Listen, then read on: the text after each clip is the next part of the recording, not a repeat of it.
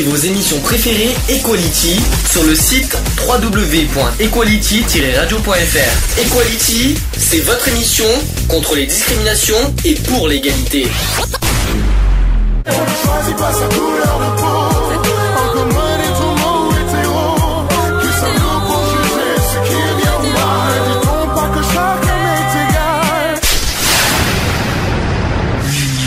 Fait la force. C'est le sujet du jour. Sujet du jour. Sujet du jour. Est-ce que vous croyez tous aux extraterrestres? Vous savez, avec tout ce qu'on sait, tout ce qui est euh, entre les films, les preuves, les machins, les, euh, les soucoupes volantes, La zone 51. euh, la zone 51, etc., etc. Ouais. Est-ce qu'on y croit, n'est-ce pas?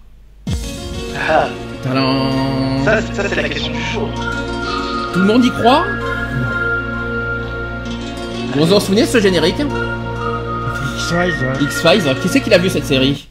Tout le, monde, tout le monde connaît cette série? Non J'ai pas entendu. D'accord, X-Files. Tout le monde Ah en- oui, ça, oui, connu, connu, connu, super connu. oui. Ah, tu m'entendais pas Ah Oui, c'est vrai que pendant, c'est vrai que quand je mets le son plus le, la voix, et, euh, Skype ils entendent rien. hein. C'est vrai que euh, j'y peux rien. hein. Donc euh, ah non, oui, non, non, oui, non. Oui, oui. Mais d'abord, d'abord, avant toute chose, est-ce que vous y croyez? Ben, disons que vu euh, la galaxie, etc., ça m'étonnerait qu'il n'y ait pas d'autres planètes comme nous habitées. Mhm. Il y a des, il y a, Donc, euh, il y a déjà de toute façon des planètes qui, auxquelles qui a, qui, ont, qui a de l'oxygène dedans, et il y aurait, euh, et il y aurait, euh, on va dire entre guillemets, euh, des- euh, il y aurait des vies, d'autres vies, mais pas forcément à côté de nous, hein, mais à des millions d'années-lumière, il y aurait soi-disant des vies euh, dans d'autres En planètes. fait, en, en fait, parce que nous, on fait partie d'un système solaire, d'une galaxie, nanani, nanana. Et apparemment, il y aurait un autre monde, donc avec d'autres galaxies, un autre système solaire, etc., etc. Euh, donc ouais, moi je pense qu'on est, franchement pas seul euh, dans, l'univers, hein, puisqu'il faut parler d'univers. Euh, je pense qu'on on est vraiment pas seul, sinon euh, bon, on se ferait chier déjà, hein, je crois. hein. donc déjà qu'on se fait assez chier sur Terre comme ça, mais alors là ça serait pire. Et puis je pense que, quand on voit tous ces films, ces séries, tout ça. Euh, ok, c'est de la science-fiction, c'est voilà, on sait que c'est du cinéma, etc., etc. Mais au plus on se rapproche, euh, enfin qu'on avance dans le temps, hein, euh, là on est en 2017 tout ça. Euh, Enfin, pour moi, c'est mon avis personnel. J'ai l'impression qu'en fin de compte, la fiction n'est pas si loin de la réalité, en fait. Parce que euh, quand on prend, par exemple, les, les- ça n'a rien à voir, mais les, les films catastrophes et qu'on s'aperçoit à l'heure- actuelle que ces catastrophes, ben, elles arrivent pour de bon, le, le réchauffement climatique, euh, la période glace, la- les, gla- les- les glaciers qui fondent, les inondations à Tire-Larigot, tout ça, et tout ça, donc il y a eu plein de films catastrophes sur ça, et ça arrive. Donc je me dis pourquoi pas quoi. Après tout, euh, pourquoi pas, ouais, euh, que ben, un jour on sera euh, comme dans Stargate ou Star Wars dans des vaisseaux euh, euh, et à flotter dans l'univers, quoi. Pourquoi pas Alors, je vais vous faire un petit peu d'histoire, hein, parce que euh, ça date pas d'aujourd'hui. Hein, on- si on- on- on- il faut, ça date pas d'aujourd'hui hein, qu'on y croit aux extraterrestres, vous allez comprendre. Alors, il y, a des- il y a quelques petits blagueurs, déjà, qui- qui ont fait des petites blagues sur ça. Il y a tel, euh, par exemple, Orson Welles, qui, a, qui en 1938 a, a annoncé euh, l'arrivée des, des Martiens et le début d'une guerre avec les extraterrestres. Ça, c'était en 1938, imaginez. Euh, Il y a aussi euh, Simon Parks, euh, qui est un moniteur d'auto-école canadien, affirmant être le père d'un enfant du troisième type baptisé Zarka, suite à son, bafi- euh, à son batifolage euh, avec une extraterrestre dont le prénom reste inconnu. Ça me fait penser à un film, ça. C'est pas le film L'extraterrestre, justement, avec une femme? Je crois que ça me fait penser à ça, d'ailleurs. C'est possible. Euh, Il y a aussi le reste, les, obser- les observations impartiales. Il y a- il y, a les indices aussi euh, sur la possibilité d'une vie extraterrestre qui se multiplie au- à ce jour. Euh, certains scientifiques estiment que les visites d'extraterrestres sont possibles. Euh, donc il s'appuie sur 150 millions de témoignages, dont 20 000 attestant d'un atterrissage et quelques milliers d'une activité au sol. Ça fait très X-Files ce que je suis en train de vous dire. Euh, parmi les témoignages récents en 2004, on peut notamment citer celui de, J.G. Euh, qui est commandant de bord à Air France durant 20 ans. Il affirme avoir observé des engins volant à Mach 5, une vitesse qu'aucun engin terrestre n'atteint. Et 50 ans plus tôt, Kenneth Arnold, qui est un pilote américain, racontait déjà avoir vu plusieurs ovnis évoluer à grande vitesse autour de son cockpit. Mais tu sais, déjà, nous, on est extraterrestres à la base. Puisque Ah la vie, la vie, quand elle est apparue sur Terre, elle est venue de l'espace via des météorites. Ne elles se sont écrasées sur Terre en apportant euh, le lot de microbes, de bactéries, etc., qui ont permis la vie de se développer sur Terre. Tu peux, on peut pas être extraterrestre. Extraterrestre, c'est quelqu'un qui est hors de, de la Terre. T'es ex- Voilà. Extraterrestre. Donc, donc. la vie, la vie, proprement dit, sur Terre, euh, ne s'est pas produite, euh, je veux dire, elle ne s'est pas développée sur la Terre. Quand elle était, je veux dire, en fusion, qu'elle commençait à se calmer, qu'il a eu des projections de, vapeur et autres qui ont permis euh, la création de l'atmosphère euh, et de l'eau, euh, c'est venu par des météorites, en fait. Le premier être vivant à être arrivé sur la Terre, c'est une bactérie euh, qui a profilé, qui a, qui a- hein, qui a- évolué, et donc ça a donné naissance à des, à, bah, à de la faune, à de la flore, à des, des premiers euh, mammifères marins, etc., etc. Quoi. Je veux dire, donc euh, voilà. Euh, puis Enfin, on peut pas, on peut pas dire qu'on est arrivé par enchantement, quoi. Je veux dire, euh, l'homme, il est pas arrivé comme ça sur la terre des doigts. Euh, on, on vient bien de quelque part, et donc avant, avant d'arriver euh, euh, sur la terre, qui avant il n'y avait rien, il a bien fallu débarquer et pour que la, la, la vie vienne à naître sur terre, il a bien fallu qu'il y ait un déclencheur pour que ben, la vie vienne sur terre. De toute façon, et pour qu'on puisse y respirer, etc., etc. C'est comme sur Mars, c'est pareil. Alors Ça, ça, Mars, voilà. On, on- on se on se fie toujours sur Mars. Je sais pas pourquoi Mars, Mars, Mais Mars, c'est les Martiens. En fait, il y a eu, il y a eu un début de vie sur, sur, ce- sur Mars.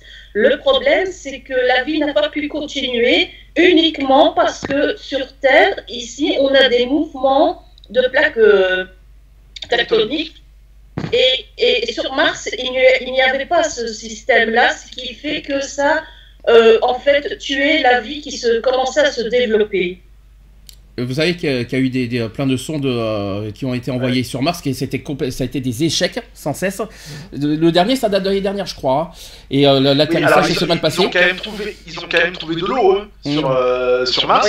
Euh, donc ils ont quand même trouvé de l'eau. Donc ça veut dire que qui, qui dit qu'il y a de l'eau, donc il y a forcément la vie. Le seul truc qu'il y a, c'est que la, la, la planète, elle est tellement gazifiée que, de, de, de dioxyde de carbone que pour, à l'heure actuelle, ça reste irrespirable.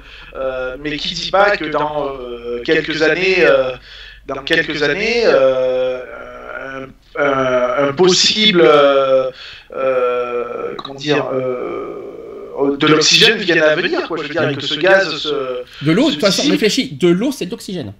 Il y a de l'oxygène Oui, dans l'eau. Mais Donc, euh, il faut, il faut qu'il y en ait plus, parce que là, ce qu'ils ont c'est vraiment infime, quoi. Donc ça ne suffit pas à créer une atmosphère euh, respirable. Oui. Euh, maintenant, s'ils arrivent à trouver vraiment une bonne source qui, euh, qui pourrait euh, faire justement une atmosphère respirable, euh, à ce moment-là, on pourra dire que ouais, euh, euh, la planète est, est viable. Quoi. Euh, à l'heure actuelle, elle est, mais on ne sait pas à, à quel pourcentage.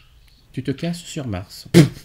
Ah, Total Recall. Tu te casses sur Mars. Total Recall, ça me fait, ça fait penser à, à ce film direct avec Schwarzenegger. Ah bah ouais, forcément.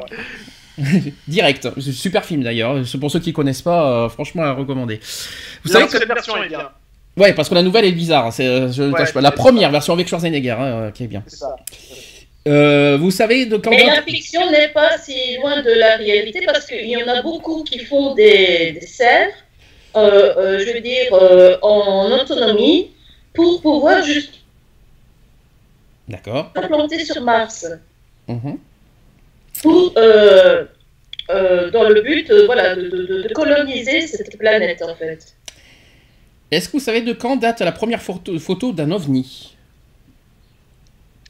C'est Euh, 44. je dirais déjà à l'homme de Cro-Magnon. Ah, Il y a des, des, des, des peintures rupestres qui fait, font croire à des, des volants non Ah, ils identifiés. avaient des Non mais appareils Eve, photo. voilà, c'est ce que je voulais dire. C'est ce que je savais. Alors Eve, tu m'apprends une Non, chose.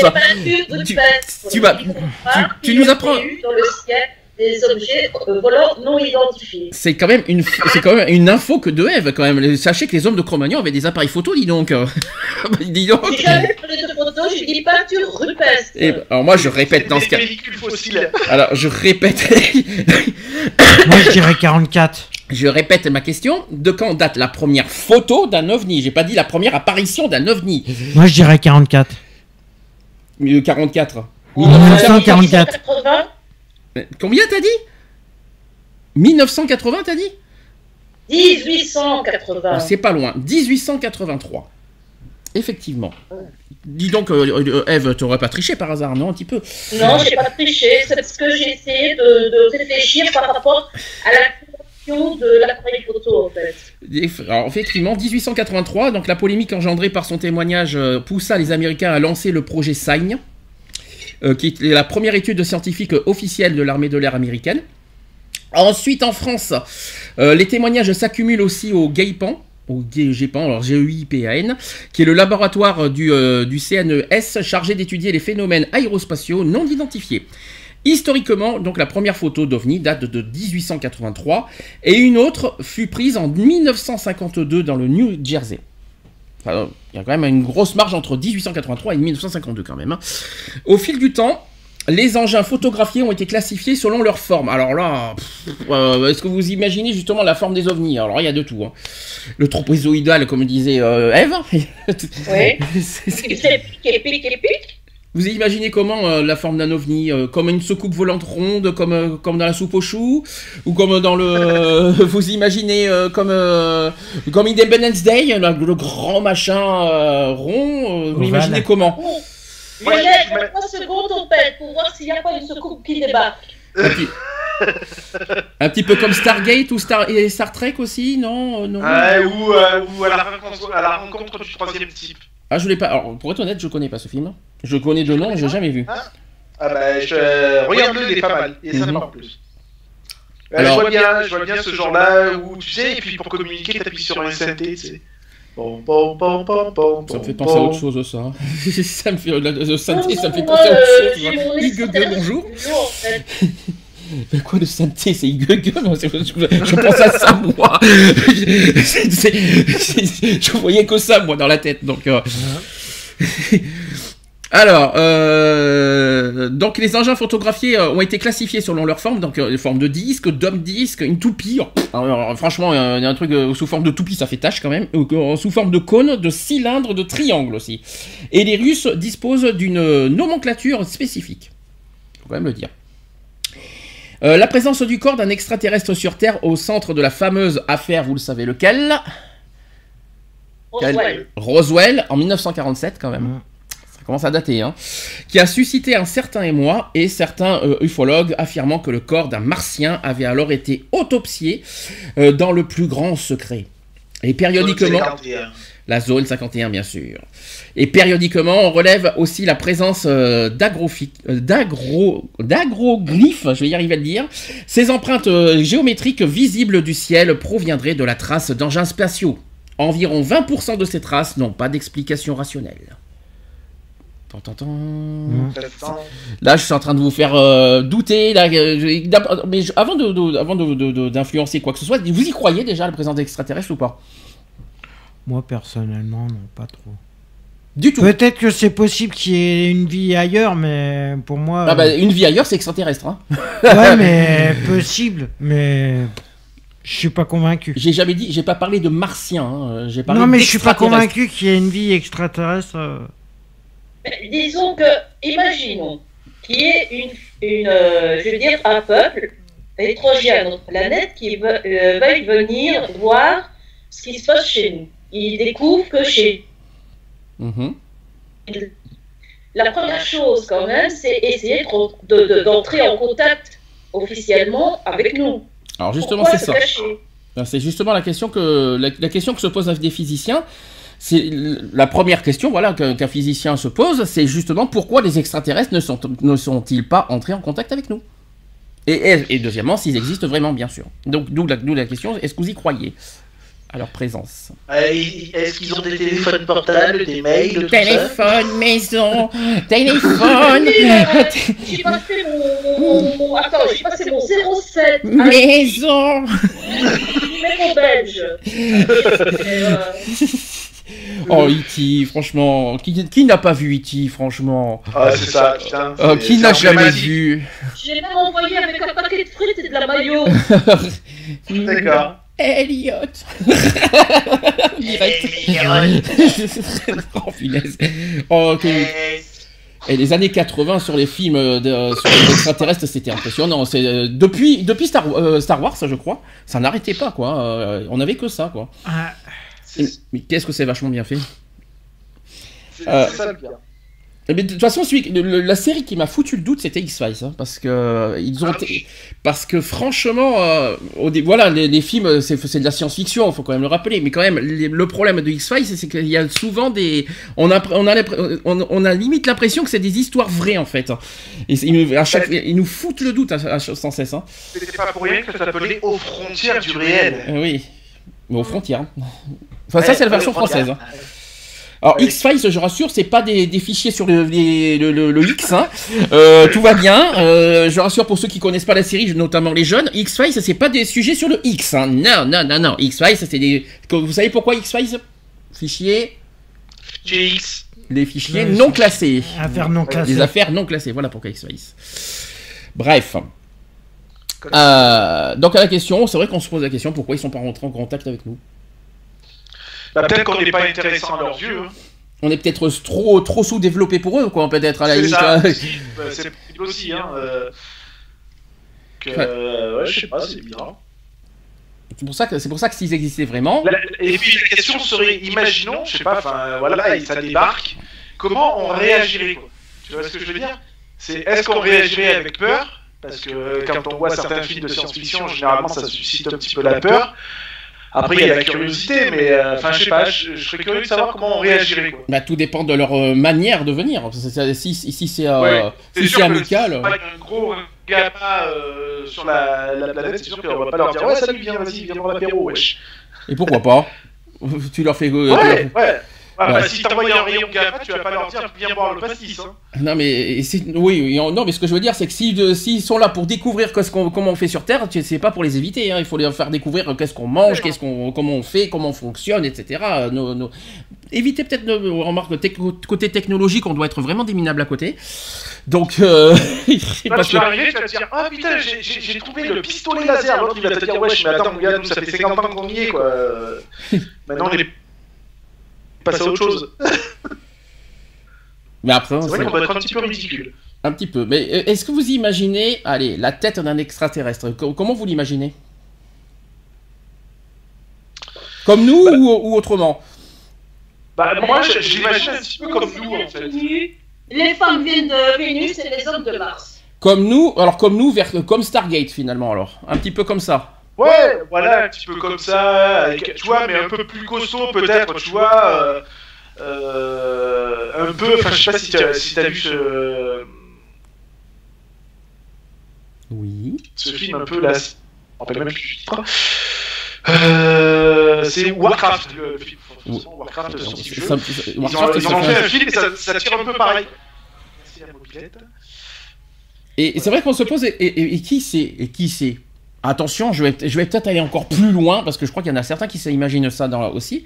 Qui c'est Est-ce que nous, on n'est on n'est pas... Nos ancêtres, on va dire, le- on va dire nos bactéries, sont pas les extraterrestres? Est-ce qu'on n'est pas... Est-ce C'est que... ce que j'ai dit. C'est ce que j'ai dit. euh, la vie de, de- sur Terre vient de l'es- de l'espace. Oui, il y en a qui s'y- il y en a qui, encore qui sont très farfelus qui s'imaginent ça.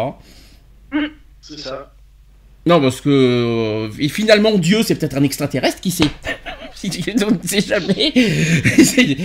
On ne sait pas. euh, peut-être qu'ils ont cru à Dieu pour ça. hein. Peut-être qu'ils ont vu des soucoupes volantes euh, dans- qu'on ne sait jamais. hein.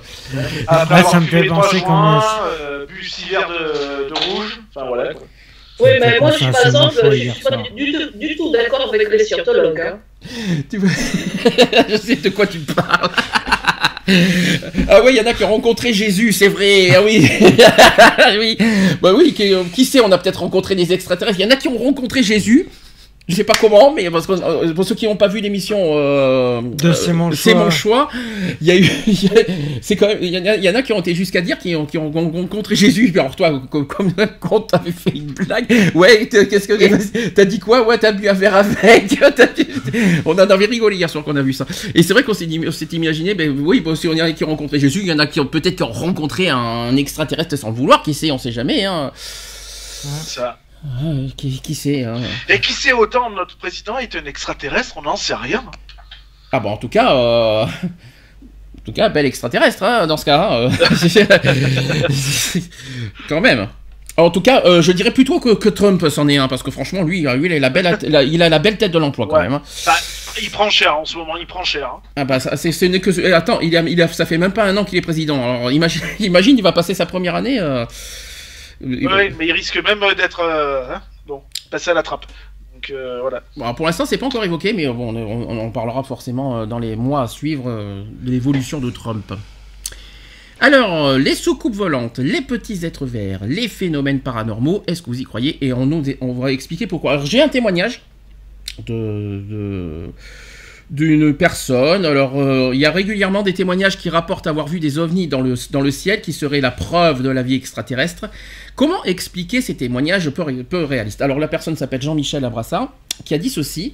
La grande majorité des témoignages d'observation d'ovnis s'expliquent par des méprises. Les témoins observent un objet dans le ciel comme la planète Vénus, la rentrée atmosphérique euh, d'une météorite, un lâcher de lanterne thaïlandaise, la lune, un avion, etc. et n'arrivent pas à l'identifier. Tout simplement. Donc cela, cela devient donc un objet volant euh, non identifié, donc l'OVNI.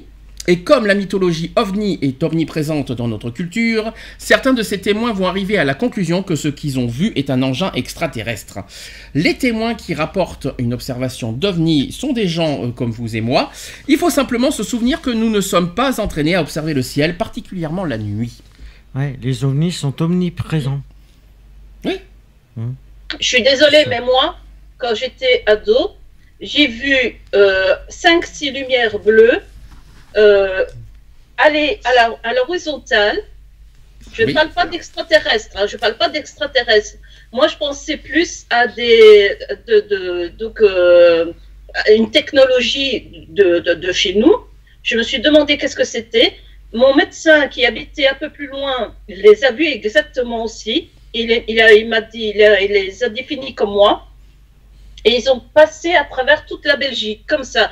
On a dit que c'était soi-disant un, allez, euh, un satellite qui était entré euh, dans l'atmosphère. Je suis d'accord. Mais depuis quand un satellite qui s'écrase sur Terre va à l'horizontale?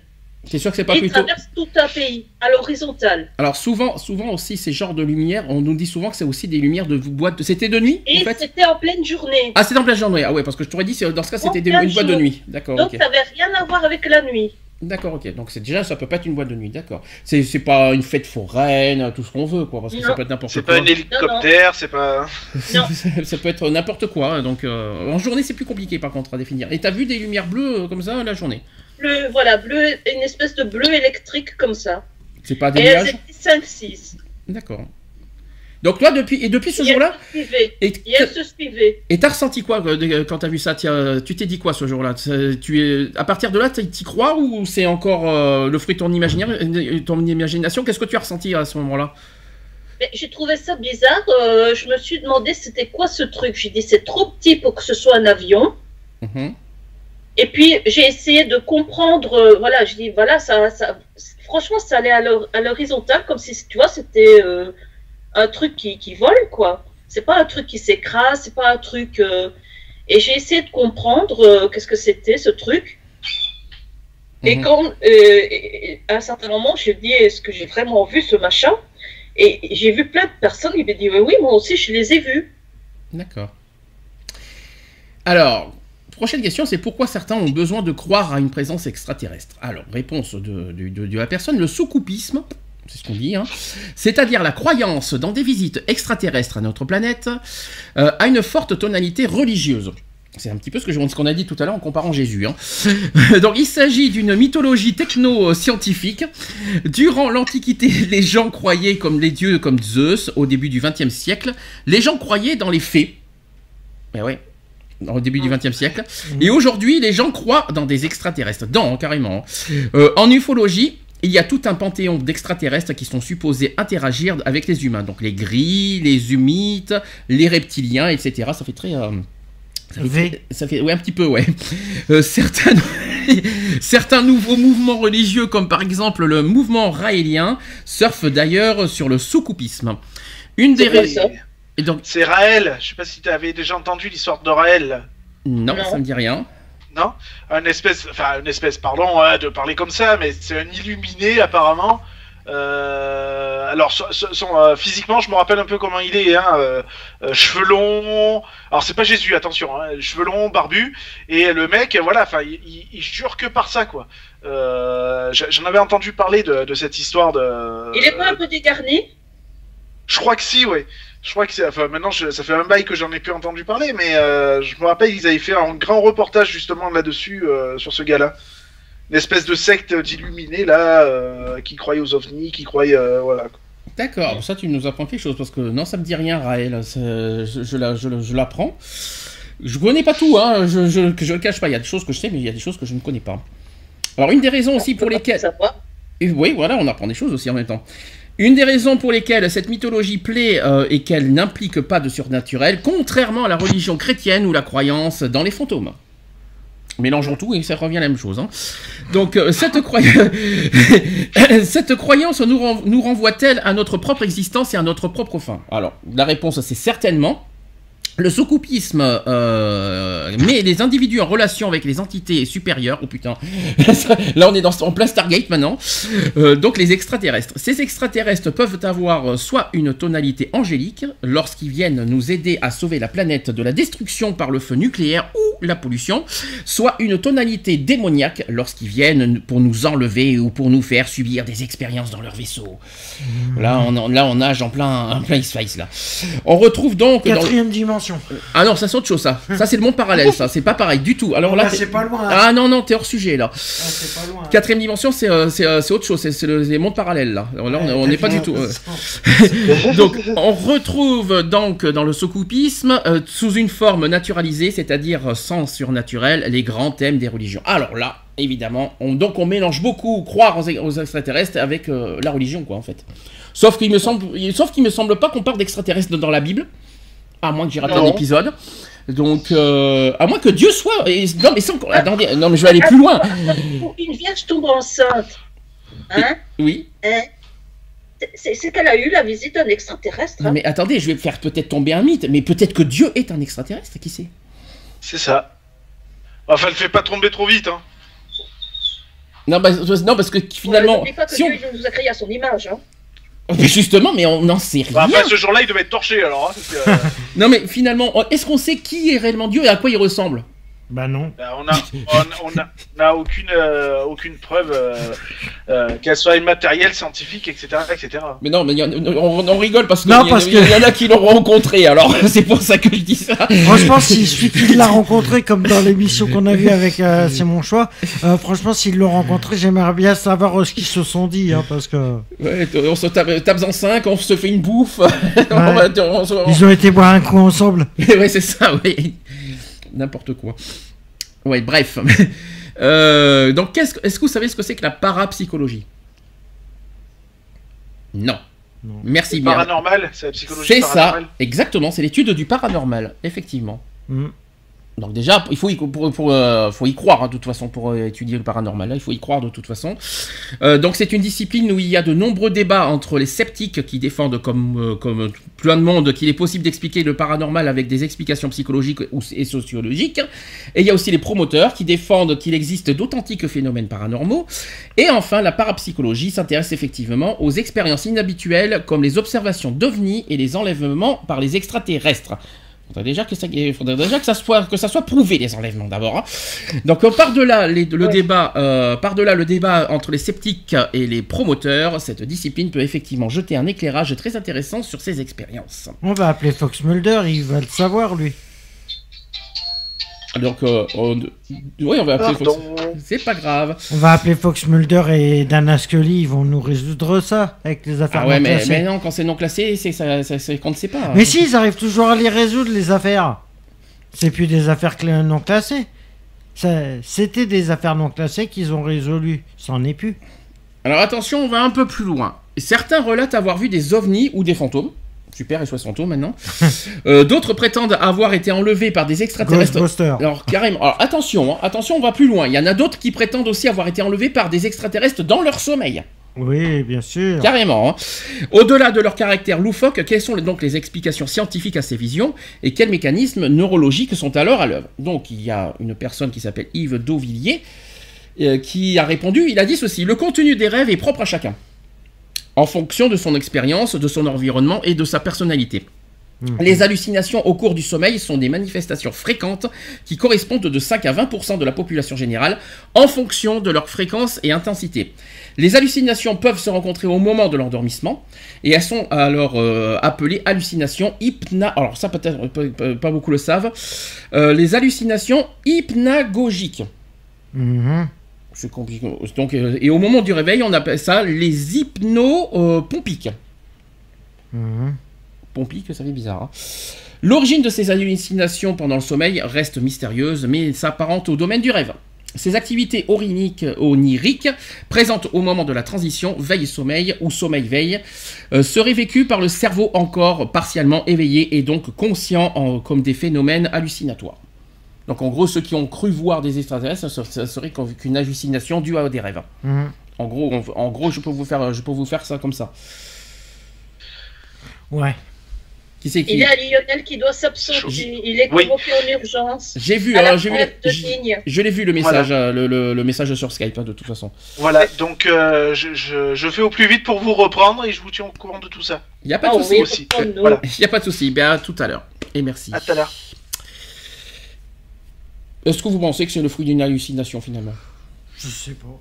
Est-ce que vous Ouais, pensez c'est possible. que ceux qui croient voir des extraterrestres, des extraterrestres, ce ne serait le fruit que la- de- d'une hallucination due à un rêve Ah, c'est possible, hein. Est-ce que vous, est-ce que vous J'en sais pensez rien, j'en sais rien. Moi, moi, j'ai parlé de, j'ai j'ai entendu parler d'un cas ou l'autre où euh, les médecins euh, ne savaient vraiment pas dire euh, d'où provenaient euh, les, les plaies, les, les cicatrices que la personne avait.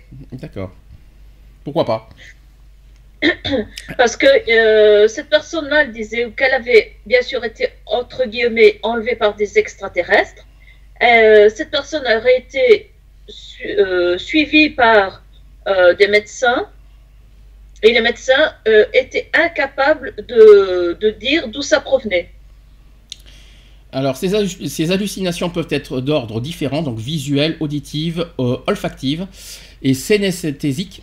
Par exemple, ah, certaines hallucinations sont très fréquentes, comme l'impression de tomber dans un gouffre à l'endormissement ou une vision kalé- kaléidoscopique à la fermeture des yeux au coucher. C'est un petit peu ce qui était arrivé à Miss euh, Eve.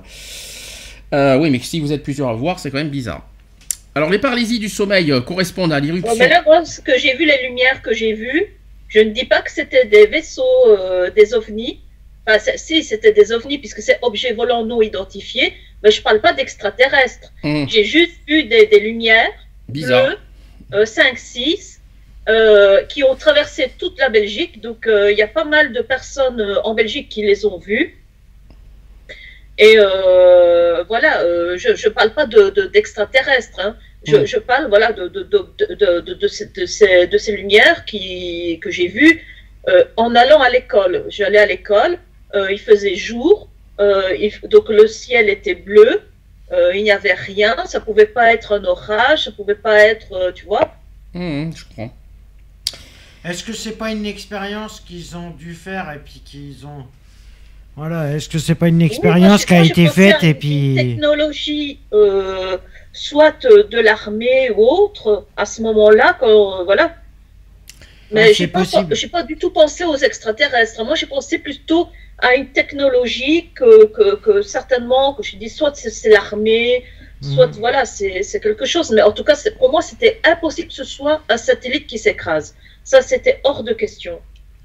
Alors les paralysies du sommeil correspondent à l'éruption de l'absence de tonus musculaire liée au sommeil paradoxal, donc euh, c'est-à-dire le sommeil du rêve, pendant la veille. Le sujet est éveillé, conscient et ne peut bouger.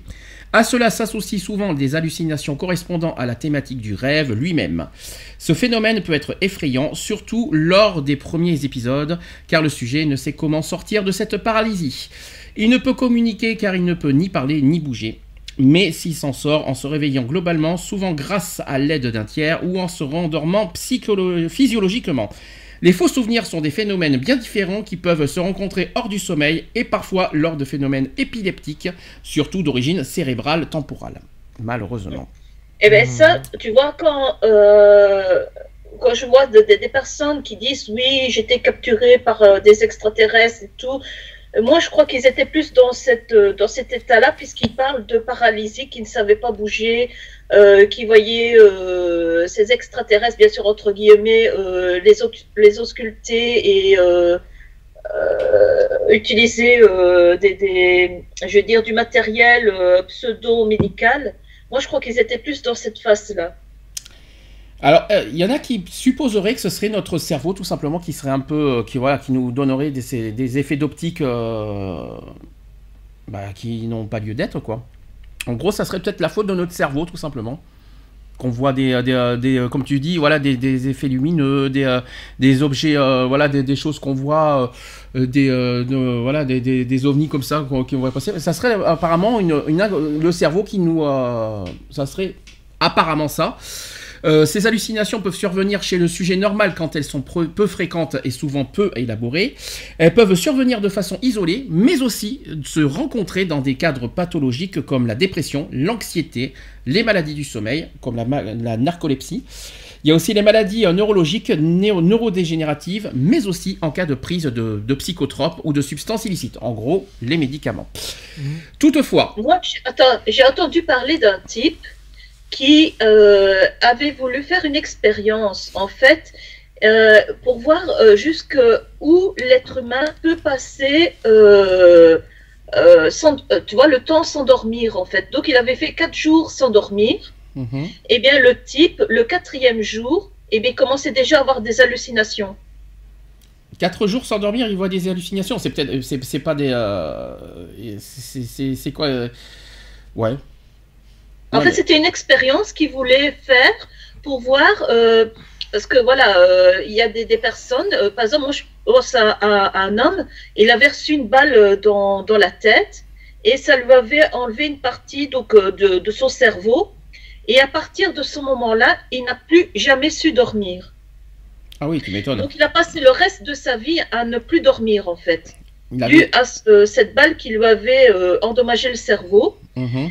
Et euh, ce monsieur-là, il a dit, bah, tiens, je vais faire une expérience pour voir, parce qu'on dit que le sommeil, l'être humain a besoin de dormir, et je veux voir euh, à quel point euh, ça influence notre organisme, no- notre cerveau, le fait de dire, ben non, tu vas pas dormir, tu vas pas te reposer, moi je te, je te refuse ça. Et au final, ça donne quoi au bout de 4 jours? Eh bien, il avait des hallucinations. Oui, mais ça Ouais, reste, mais ça des fou. hallucinations. Des hallucinations, est c'est pas devenu réel. fou. Je rappelle que les Ah ouais. hallucinations, ce n'est pas réel. hein, donc, euh, Il est devenu complètement fou. Non, il y a eu des Non, hallucinations. bon, euh, bon, après, il, a, il a, il s'est- il s'est s'est reposé. Et euh, une fois, j'ai vu aussi un, un homme, euh, donc, euh, qui, lui, il avait fait 21 jours euh, sans pouvoir dormir. Et à heure fixe, lui, c'était à heure fixe, à une certaine heure, il souffrait d'hallucinations. Alors toutefois, les sujets au réveil doivent critiquer euh, ces phénomènes euh, hallucinatoires pour les considérer comme faisant partie du domaine du rêve et pas du réel.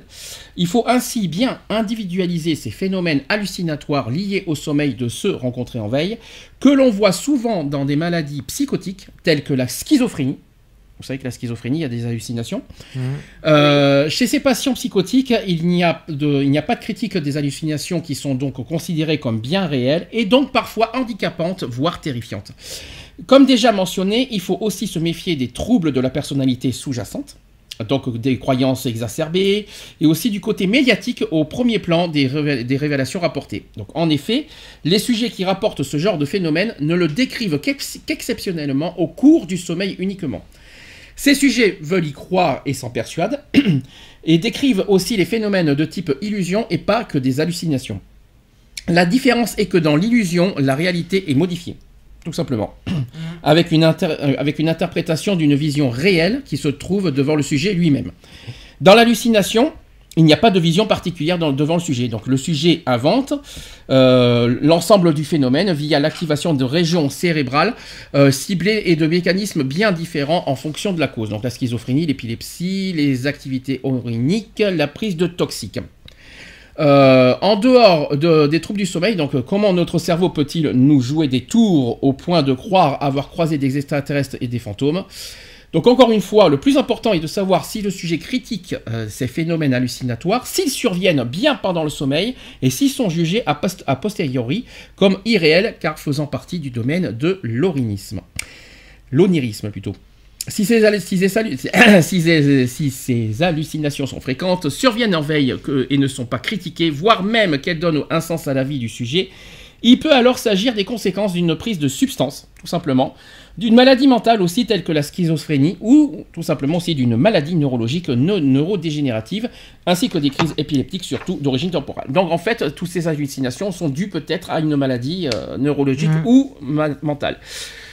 Ça fait, ça fait bizarre, ça me fait, ça me fait de la peine parce qu'on, on- ça veut dire que les personnes qui croient avoir des extraterrestres, ça veut dire que la personne est une malade mentale. Moi, ça me dérange de dire ça. hein. Hum, Je, clair. Ça, ça me, moi, personnellement, ça me dérange. De, de traiter de malade mentale une personne qui croit avoir des extraterrestres. Euh, oups, quoi. C'est bizarre. Moi ça, me- moi, ça me dérangerait de dire ça, parce qu'il y a quand même pas mal de phénomènes bizarres, quand même, euh, euh, il faut quand même le, le- le dire. hein. Il y a quand même des phénomènes bizarres. euh, je- on ne dit pas que les, que les extraterrestres sont chez nous, qui vont venir avec, un, avec une soucoupe volante, mais il faut quand même être, euh, mais il faut quand même être euh, réaliste aussi en même temps. Il est vrai, et c'est même prouvé plusieurs fois, il y a même des émissions qui le montrent, qui le, qui le, qui le montrent aussi, euh, qu'il y a bien des, des phénomènes bizarres. Il y a Eve qui a parlé. Il y, a des- il y a bien Eve qui a parlé tout à l'heure des, une lumière, des lumières euh, qui, voilà, et de- Oui. comme, comme par exemple aussi un objet qui fait du Mach 5, qui ça n'existe pas dans le monde. Voilà, et d'où ça sort? On, on ne dit pas que c'est un extraterrestre dedans, mais il y a bien, il existe bien des phénomènes Bah Oui, ça bizarres, vient bien de quelque étranges. part. Si par exemple c'est une nouvelle technologie, par exemple comme j'ai dit de l'armée, tu penses bien que si c'est un test, si c'est un prototype, ils vont pas dire, écoutez les gars, on est en train de faire un prototype hein, pour voir si on peut aller jusqu'à Mach 5, si on peut faire ci, si on peut faire ça. hein. Ne vous inquiétez pas, hein. si Hmm. vous voyez des trucs lumineux dans le ciel, c'est nous. Bien sûr. Euh, Chose, qui est impossible à faire, mais c'est nous, bien sûr, c'est logique. Mais il y, a- bien des phénomènes étranges, c'est paranormaux, ça c'est clair, net et précis, qui existent et qui sont prouvés. Après, de la dire qu'il y a, après de la dire qu'il y a des de la dire qu'il y a un extraterrestre qui est sur nous avec, avec une soucoupe volante, ça évidemment, ça va être plus compliqué à le prouver. Euh, maintenant, euh, on est bien d'accord là-dessus. Euh, quoi qu'il en soit, il y a des phénomènes étranges. Moi, ce qui me dérange, c'est de pointer du doigt ces personnes qui croient voir des trucs étranges, qu'on qu'on les, traite de malades mentales. Ça, ça me dérange. On ne peut pas. Parce que tout le monde a, je pense, une fois dans sa vie, vu des trucs bizarres. Elle veut la raconter. T'as déjà Oui. vu un truc bizarre dans ta vie? Ah que- oui, oui, oui. La Ouais, seule oui, chose que j'ai- pu voir de bizarre, c'est la, la connerie des gens. Ouais, d'accord. Je, non, mais même pas dû poser la question. je- non, mais personnellement, moi, ça m'est jamais arrivé de voir des trucs bizarres, mais Alors, moi, moi, aussi, j'ai déjà eu un tout truc est bizarre. bizarre. Eve, t'as dit que t'as vu quelque chose de bizarre. Oui, j'ai eu un truc bizarre une fois, oui. Euh, chanter une présence. Et j'ai dit, d'accord, si t'es là, allume la radio. La radio s'est allumée. Pourquoi pas? Pourquoi pas Ah, tu penses que la- la- la- il y en a qui croient aux télépathies aussi? Ça n'a rien à voir avec les extraterrestres, mais c'est quand même des pouvoirs euh, étranges, quoi. Alors là, je pense qu'en fait, ce qu'on est en train de dire, il y a peut-être certains qui ont des sixièmes sens, des trucs bizarres. Euh, Les médiums, ils sont, euh, voilà, on a peut-être des pouvoirs euh, surnaturels, peut-être surdéveloppés, et qui nous font peut-être voir des choses bizarres. Qui Mhm. sait? Après, ça peut être aussi un- un- un- des, des effets d'optique, ça veut dire aussi, aussi, c'est pas forcément le, cerveau, mais on a des effets, visuellement parlant, on, on a peut-être vu des choses euh, bizarres. C'est peut-être aussi les yeux qui, euh, qui- nos yeux qui nous font ça aussi. Hein. On sait jamais. Alors, euh, je- au sujet suivant, c'est, euh, j'ai six raisons, alors, entre parenthèses, sérieuses, pour lesquelles on n'a pas encore rencontré E.T. Pourquoi, Mhm. d'après vous, aujourd'hui, on l'a, toujours pas rencontré? Vous, vous avez une Parce idée? qu'il n'existe pas. C'est pas, qui- c'est pas vrai. Alors ça, c'est pas tout à fait ça. Moi je dirais que c'est à cause de la distance déjà, parce que du, de, euh, y, a, y a des millions, des milliards de galaxies, et pour passer d'une galaxie à l'autre, euh, à mon avis, c'est comme nous, euh, ça prend du temps. Euh, il faut aussi une autonomie, je veux dire, au niveau carburant, au niveau, je veux dire, vie.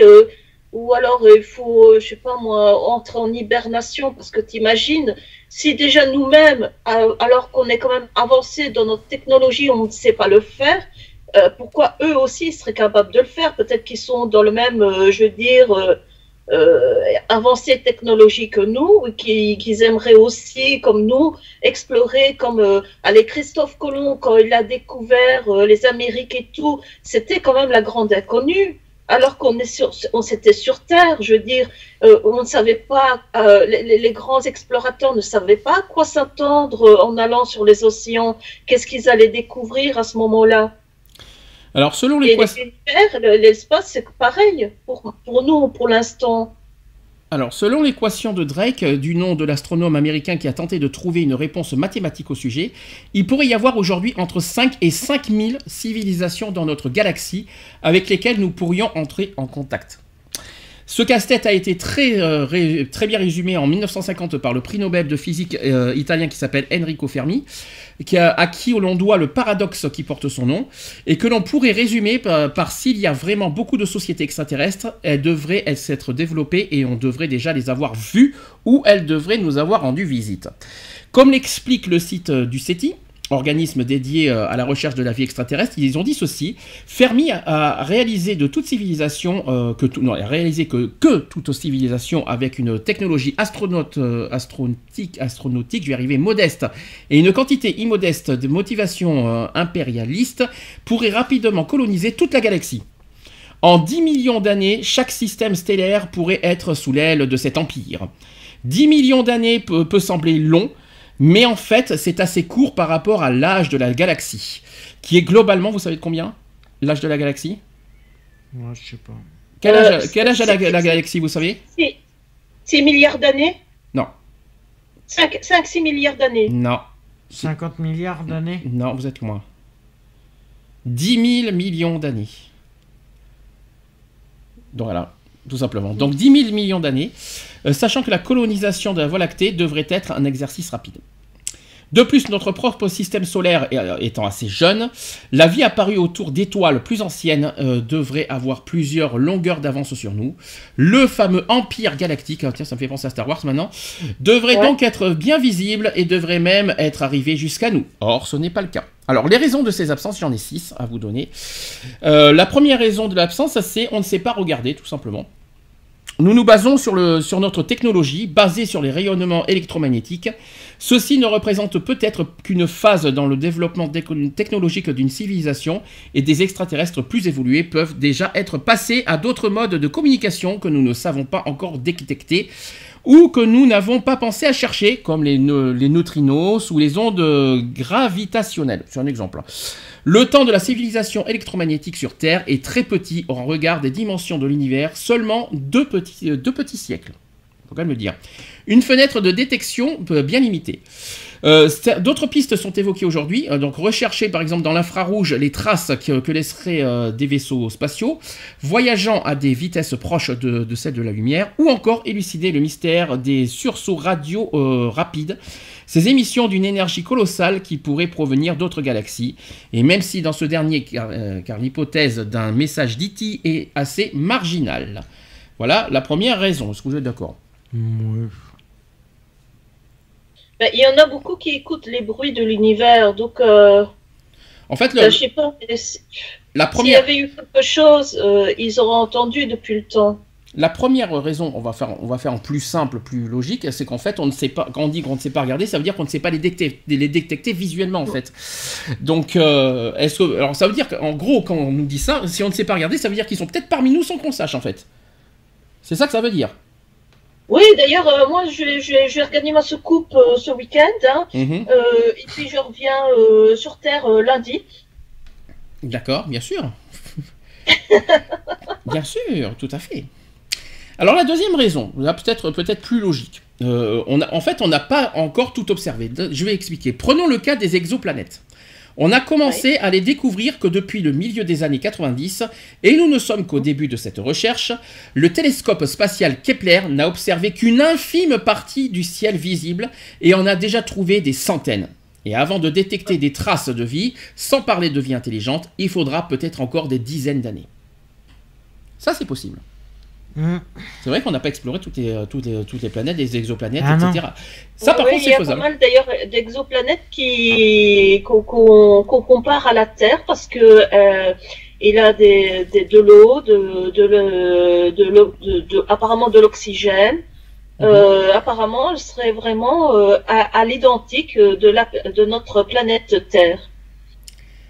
Alors la troisième raison, euh, c'est qu'en fait, ils sont peut-être pas à côté de nous, ils sont peut-être beaux, ils existent, mais peut-être beaucoup trop loin de nous. Donc selon une étude récente, il pourrait y avoir en moyenne 1000 années-lumière de distance entre deux civilisations. Eh ben, avec ça, on, va aller loin. hein. Pour une communication aller-retour, cela représenterait donc des milliers d'années. Et encore faut-il que les civilisations technologiques disposent de ce temps-là et simultanément. Hmm. Et ça, c'est pas faux aussi. voilà, donc ça, il y, a- il y a ce problème-là aussi. Quatrième raison, c'est que les extraterrestres ne s'intéressent pas à nous, tout simplement. Donc le fait que, les êtres biologiques euh, intelligents ne transforment peu à peu en robots euh, super intelligents, ça, ça fait penser à Terminator, qui est une thèse en vogue.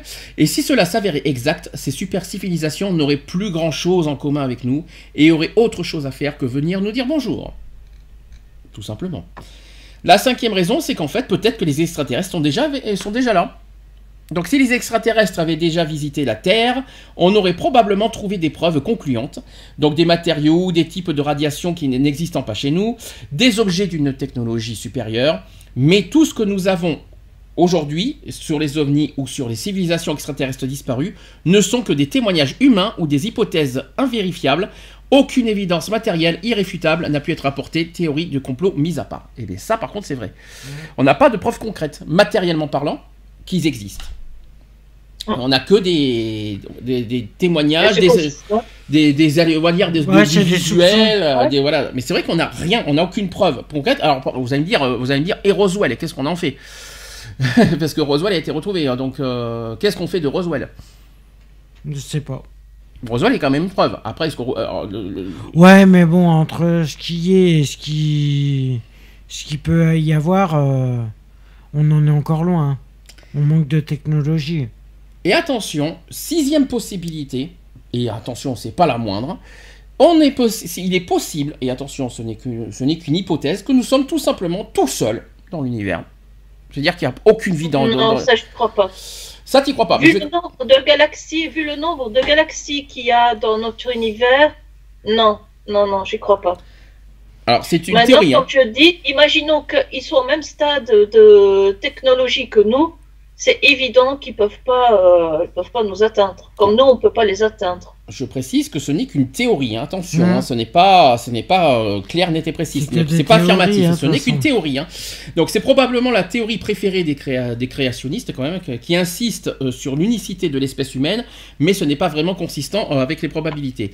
Vu le nombre d'étoiles rien que dans la Voie lactée, le nombre d'exoplanètes déjà découvertes dans un tout petit échantillon d'entre elles, les milieux pouvant être favorables à la vie que nous rencontrons déjà dans notre système solaire, donc les océans sur les lunes de Jupiter et de Saturne par exemple, Euh, se dire aussi que la vie n'a pas, pas pu apparaître qu'autour d'une étoile modeste dans la banlieue d'une galaxie ordinaire semble du- d'un irréalisme absolu.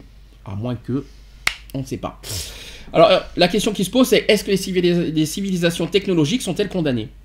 C'est une autre hypothèse qui est, qui est inquié- un- un- un- un- beaucoup plus inquiétante par contre, il faut dire. Est-ce qu'on est menacé? Est-ce que nous, Non. nous sommes, ou est-ce que on est, ou est-ce que carrément nous, nous sommes une menace? On peut aller comme ça aussi. On est déjà une menace pour nous-mêmes, c'est déjà pas mal. Hein. C'est vrai, c'est vrai qu'on est une menace euh, à l'intérieur de la Terre déjà, ça c'est clair. C'est clair. Donc on est une menace pour notre propre planète déjà, il faut quand même le dire aussi. Franchement, pour, pour, pour, euh, pour nous détruire, on n'a pas besoin d'extraterrestres. hein. On, y, on, y en- on s'arrange très très bien là. euh. C'est vrai que Franchement, les gars, c'est pas la peine de venir si c'est pour ça. hein. c'est vrai que l'espèce humaine est, est, on va dire en ce moment le, le, le danger de la planète hein, actuellement, vu, vu comment vu comment on la traite au niveau écologique. Je Mhm. préfère rien dire. Alors c'est une autre hypothèse qui est beaucoup plus inquiétante. Elle imagine qu'il pourrait y avoir un élément dans, dans l'histoire de toutes les civilisations planétaires qui provoque leur chute ou leur disparition totale. C'est ce que l'on nomme la théorie du grand filtre. C'est ce qui est dit. Elle a été développée en réponse au paradoxe de Fermi, lui apportant ainsi une réponse brutale. Donc ce- comment cela se produirait-il? Les possibilités sont nombreuses. Toute espèce qui reste uniquement sur sa planète ou dans son système solaire d'origine est vulnérable à des catastrophes globales, donc les impacts d'astéroïdes, voilà, l'éruption de supervolcans, les épidémies décimant la population, les guerres totales, l'éruption solaire gé- euh, géante, donc on, on appelle ça la supernova, le dérèglement climatique irréversible. Donc la liste est malheureusement ouverte et longue, malheureusement. Donc on, on- voilà, c'est un exemple. Mais ce n'est pas Ah tout. ouais. Ce n'est pas tout parce qu'une autre explication pour le grand filtre serait liée à des événements qui se, qui se produisent régulièrement dans les galaxies, les sursauts gamma par exemple, et pour certains scientifiques, des explosions de supernovas émettraient des radiations qui se propageraient ensuite sur des milliers d'années-lumière et seraient capables d'anéantir la vie sur leur passage. De quoi nous donner froid dans le dos, il faut quand même le dire.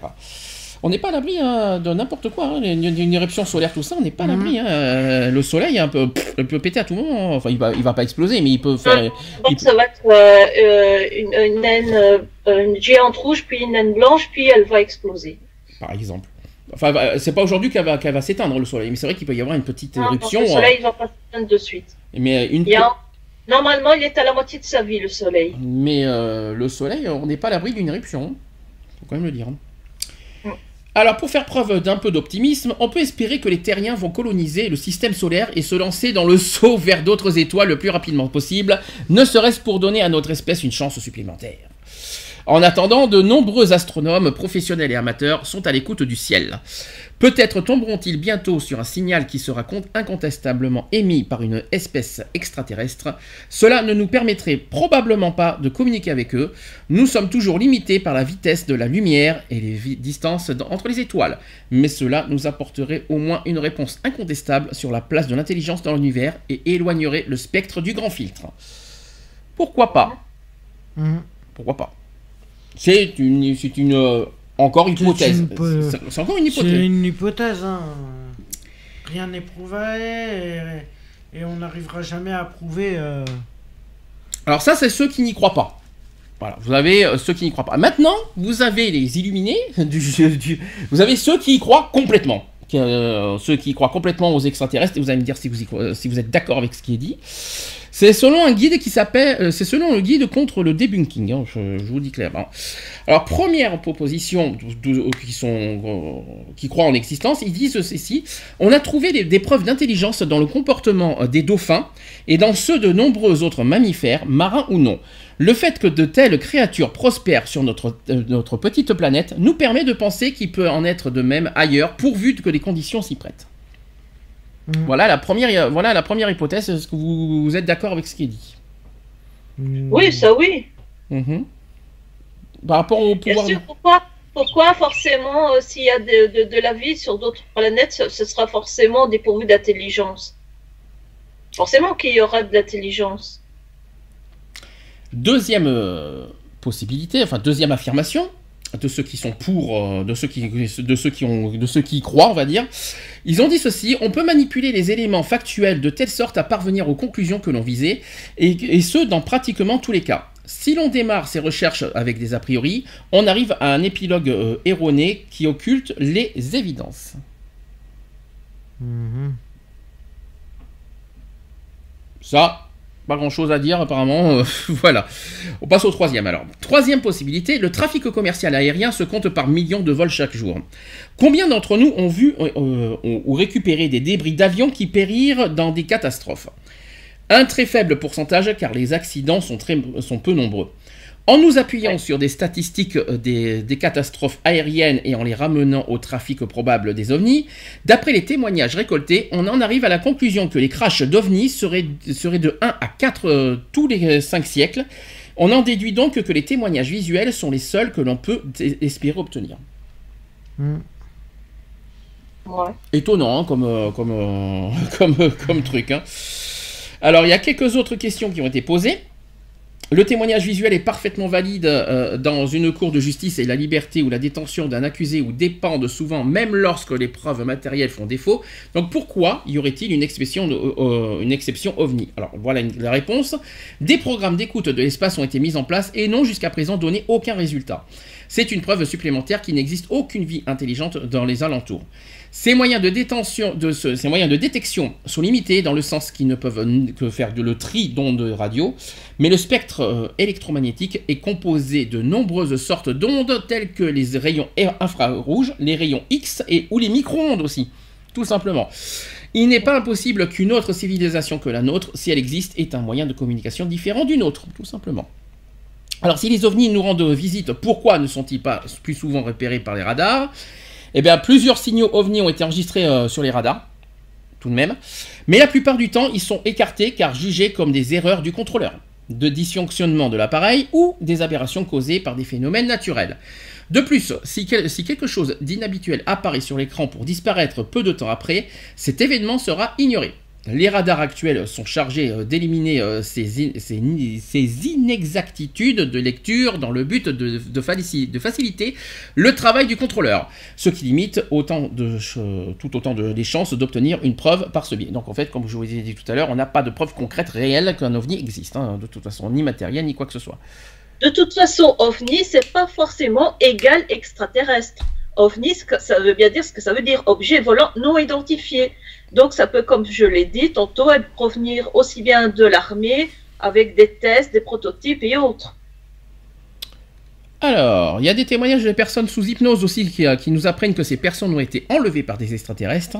Ces témoignages sont sujets à caution car ils peuvent être le fruit de leur imagination lors de la séance d'hypnose, tout simplement. Et en effet, ces sujets peuvent être victimes de leur imagination euh, lors des séances d'hypnose. Lorsque ces séances s'additionnent, leurs soi-disant souvenirs peuvent se mélanger autant dans les faits que dans le temps. C'est pour ces raisons qu'il vaut mieux euh, s'en tenir à des souvenirs retrouvés dans un état conscient. Et pas dans ni dans un rêve, ni dans l'hypnose. Mhm. Ça, ça ne marche pas. Il faut que ça soit dans un état conscient. Mais après, il faut le prouver. Ça, c'est encore autre chose. C'est bien d'être conscient, mais quand- après, comment prouver, euh, comment prouver sa bonne foi et, et ça? Alors Ça, c'est ça, c'est encore autre chose. Ça, c'est très difficile. Donc, la probabilité mathématique pour que des extraterrestres découvrent notre planète est trop faible pour que cela arrive un jour. Donc, cette démonstration est l'exemple même de l'arrogance scientifique qui pense pouvoir euh, euh, mettre l'univers en équation. Étant donné les connaissances que nous avons euh, de ce qui existe en dehors de notre système solaire, il serait bien prétentieux et hasardeux d'inférer par ce moyen des probabilités de quelques amplitudes que ce soit sur la vie extraterrestre. Tout simplement. Bah, c'est comme un petit peu comme on disait avant que la Terre était plate, euh, que toute personne qui prétende qu'elle elle était ronde, que c'était juste euh, euh, des, des personnes qui étaient, comme tu dis, atteintes mentalement, que c'était des hérétiques, etc. Combien de personnes n'ont pas fini sur le bûcher parce qu'ils ont prétendu que la Terre était ronde hein? Mhm. euh, qu'il y en a qui et- et les, ecclésiastes disaient non, elle est plate, etc. Donc euh, voilà, euh, on n'en sait rien. Comme je dis, euh, l'univers, c'est comme si on était au- du temps de Christophe Colomb. Pour nous, c'est notre, c'est notre océan, l'univers. On ne sait pas à quoi s'attendre en allant dedans. Alors, on dit aussi que seuls les faibles d'esprit croient aux ovnis. C'est pas moi qui le dis, je rassure. L'argument est de moins en moins valable, étant donné que les chercheurs dans ce domaine sont dans leur majorité sains d'esprit et font preuve de rationalité devant le phénomène. Le débat, bien que pauvre en France, parce qu'il y a une émission sur la 5 en Arte en 1996, pour ceux qui s'en souviennent, hein, moi je m'en souviens pas du tout, qui s'étend au milieu scientifique, intellectuel et historique. La réticence vient du fait que, les savants ont peur de se, de, de se discréditer face à l'établissement euh, s'ils entreprennent des études qui sortent du cadre défini par leur père. Mais l'argument peut être euh, retourné à ceux qui le brandissent et il nie une évidence qui les effraie. On a vite fait de coller des étiquettes pour se débarrasser de ceux qui s'intéressent à tout ce que notre science ne, peut pas expliquer. Le mieux est d'ignorer de telles calomnies qui ne font qu'obscurcir le débat et de renvoyer des- ces détracteurs à l'étude de documents authentifiés, comme par exemple la cassette vidéo des événements survenus au Mexique dans le début des années 90. Exemple. Donc les théories sur les ovnis sont le fond de commerce des racketteurs qui s'attaquent à des euh, gens crédules. Il y, en a qui, pensent ça aussi. Euh, le meilleur moyen pour discréditer une idée est de suggérer euh, que celui qui l'a lancé l'a fait pour gagner de l'argent. Donc on est un petit peu sur une secte si vous préférez là. Mais le fait que quelqu'un ait gagné de l'argent en rendant public un phénomène d'OVNI ne discrédite pas pour autant le dit phénomène. Et si nous devions rejeter toutes les, in- les inventions ou les découvertes qui ont enrichi ceux qui sont à leur origine, nous progresserions de moins en moins vite étant donné que l'argent prend une place euh, prépondérante au fur et à mesure que l'humanité se modernise. Ça c'est vrai. Alors autre point aussi, c'est qu'on dit que le comportement des ovnis n'est pas conforme à ce que devrait être celui d'une intelligence extraterrestre. Le comportement des ovnis euh, doit être étudié euh, tel qu'il se manifeste et non tel qu'on pense qu'il devrait se manifester. On se demande souvent pourquoi un représentant extraterrestre ne s'est jamais officiellement fait connaître pour se, présenter à l'humanité. Ça c'est vrai, ça c'est concret par contre. Peut-être tout simplement parce qu'ils adoptent la même attitude que nous euh, quand, nous ar- quand nous observons le comportement d'animaux sauvages dans leur milieu naturel. Donc nous les étudions de loin sans les déranger, nous essayons de communiquer avec eux. Ouais. C'est un peu bête, je ne le cache pas.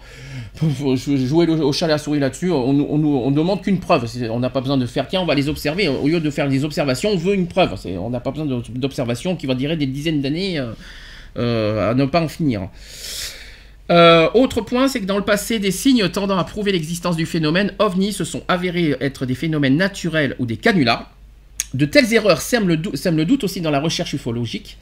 Donc on a souvent tendance à penser qu'un témoignage d'ovni est rationnel tel- dès que celui-ci peut être assimilé à un phénomène naturel. Et à contrario, on considérera que l'on ne peut pas étudier de façon rationnelle un témoignage qui va à l'encontre du bon sens. De plus, tout ce qui peut discréditer les phénomènes ovni sera employé par ses détracteurs. Mais ce n'est pas, euh, parce que quelques éléments euh, se révèlent être erronés que le phénomène n'existe pas. L'étude des ovnis est une science récente qui souffre de maladies de jeunesse où des preuves établies peuvent mener à des faux raisonnements, malheureusement. Mhm. C'est ce qu'il faut se dire aussi. Quelque chose à dire pour l'instant? Je finis et après on donnera, euh, après on donnera euh, après nos avis, nos opinions, nos- après on donnera tout ça. Je finis le sujet d'abord. On dit aussi que les théories extraterrestres sont dangereuses pour la société. Cette crainte de- ne devrait pas émerger dans une société où le débat et la discussion est instituée, à moins que cette liberté de débat et de discussion ne soit, qu'apparence euh, et qu'une étude plus poussée du phénomène ovni nous amène, de fil en aiguille, à découvrir des vérités qui mettraient à mal le socle des connaissances qui font de notre histoire, notre religion et notre économie. Mais il n'y a pas de religion supérieure à la vérité, il faut quand même le dire. Et enfin, dernier point, c'est que s'il y a tant d'ovnis que que ça, pourquoi on en a on, on en a jamais vu? Tout simplement. Eh bien, tout simplement, on n'a pas. Il y en a qui j'aime bien. Il y en a qui répond comme ça. Je n'ai pas vu d'Inuits, mais il paraît qu'ils existent. ça, ça- ça fait un peu image, non? Je n'ai pas vu d'Inuits. Vous savez, c'est les. euh, Mm. Vous Ouais. c'est les Inuits. Bon, voilà. Voilà toutes les théories les pour, les contre, les, euh, des théories. Est-ce que. Alors, on va, faire maintenant notre, notre, nos propres opinions. Là, j'ai parlé que de théories, de, voilà, de ce que les scientifiques en pensent, de, de, ce que peut de, ce que les médecins en pensent aussi.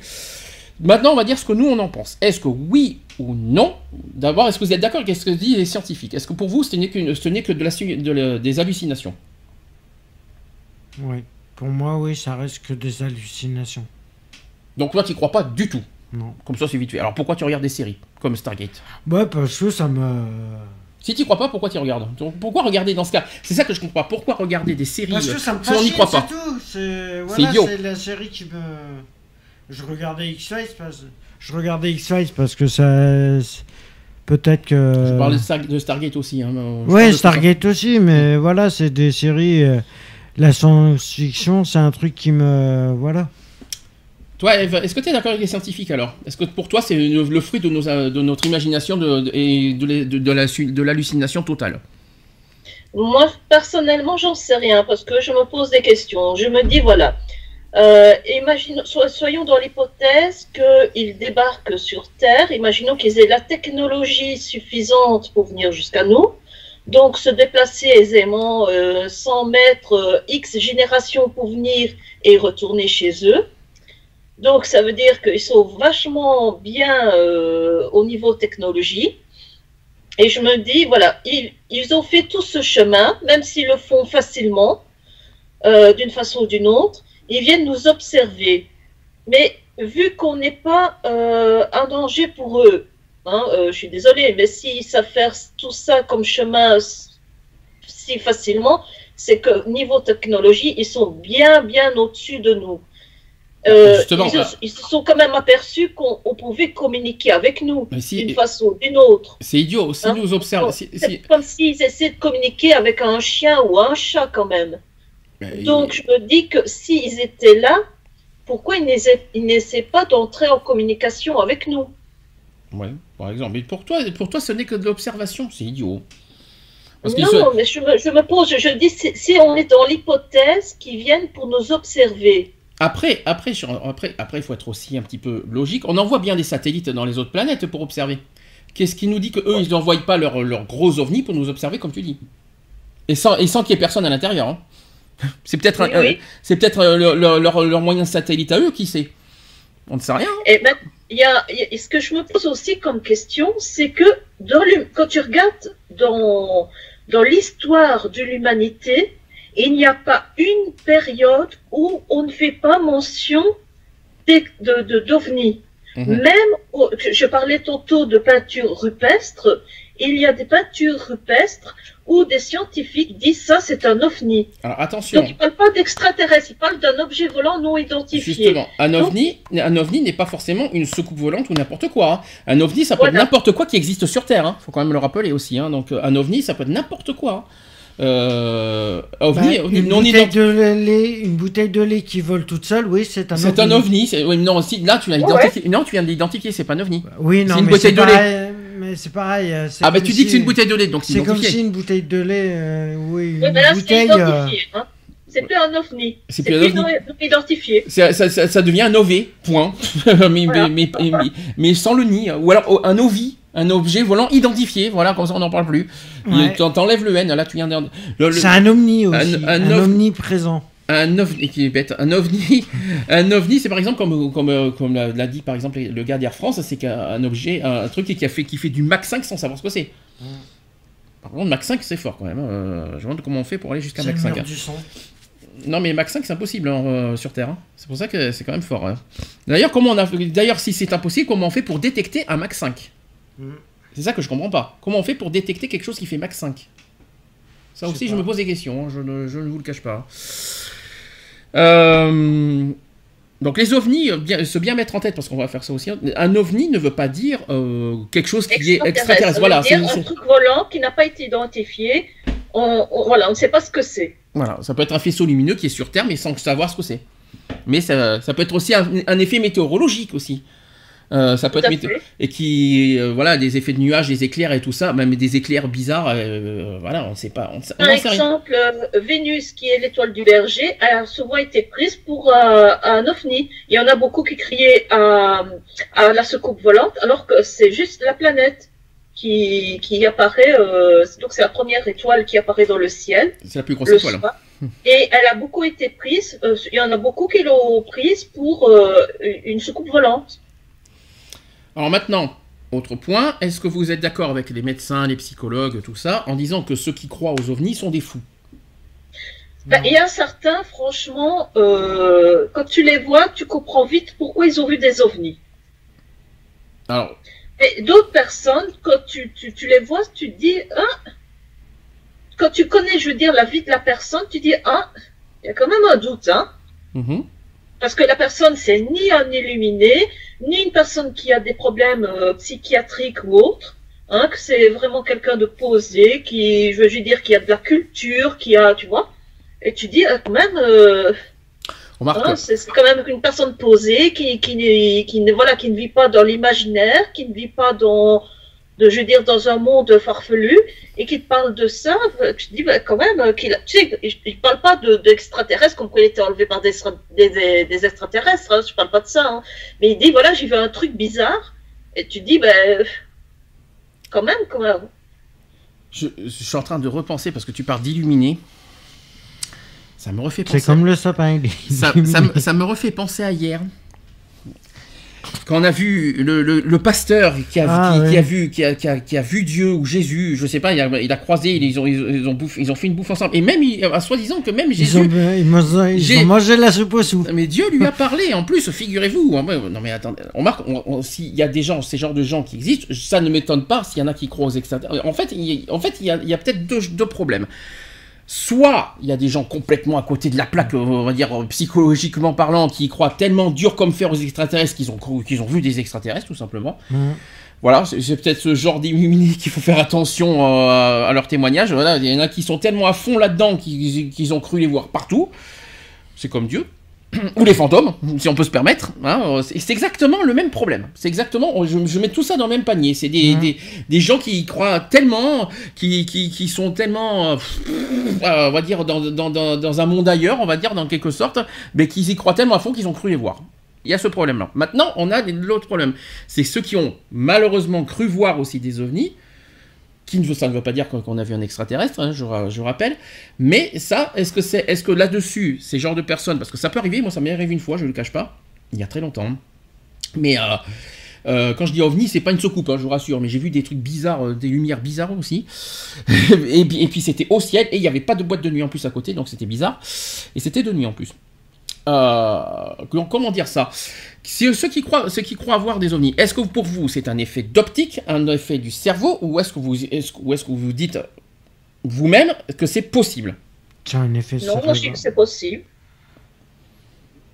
Donc les ovnis existent complètement. Oui, Donc on peut croire aux ovnis sans croire aux extraterrestres en fait, en quelque sorte. voilà. Parce qu'un ovni, euh, ça peut être n'importe quel genre d'objet, hein, ça peut être n'importe quoi, Ça peut dit. être n'importe quoi. D'accord. Alors maintenant, on, on revient sur le dernier sujet, les extraterrestres. Est-ce que oui ou non? Alors toi, Eve, t'as dit quoi qu'il en soit, t'y crois. hein, donc euh, non pas que. Moi, pour moi, c'est impossible qu'il n'y ait pas une vie euh, sur une autre planète. C'est impossible. Mais ça ne veut pas dire forcément qu'ils sont venus chez nous.